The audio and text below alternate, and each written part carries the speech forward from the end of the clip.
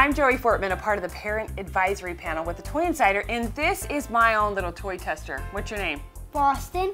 Disney Infinity is coming out with the new superheroes. This is my favorite, you know why? She's a chick. She's a chick, there's a chick playing. You were the superhero star in the house. Tell us who's all playing here. Well, we have on the base um, Groot and Iron Man.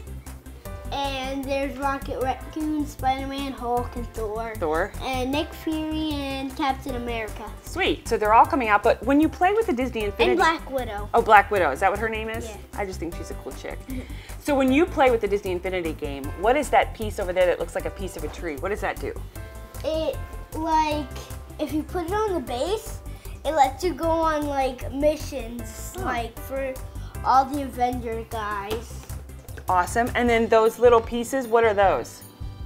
Well, if you put these where the guys are, then it it puts you in a world that's the same as the regular, except it's like the it's like superhero-ish. How much time do you want to spend playing this right now? 85 hours. Mom of the Year.